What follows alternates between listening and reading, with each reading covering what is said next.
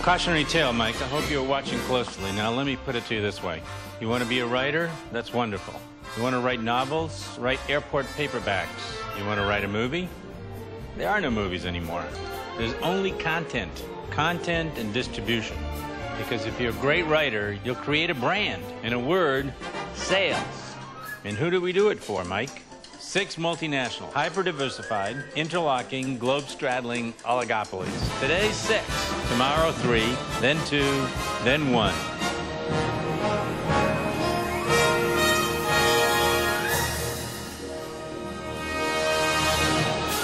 All of evolution, nature herself, has led us to this moment.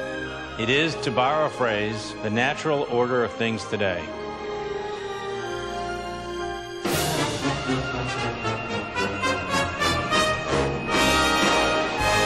It's the atomic, subatomic, intergalactic structure of things today.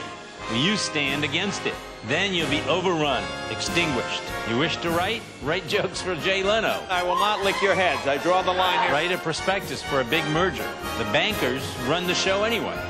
Get thee to a bank. Money, money makes the world go round. Am I spinning through to you, Mr. Vanzetti? Follow me.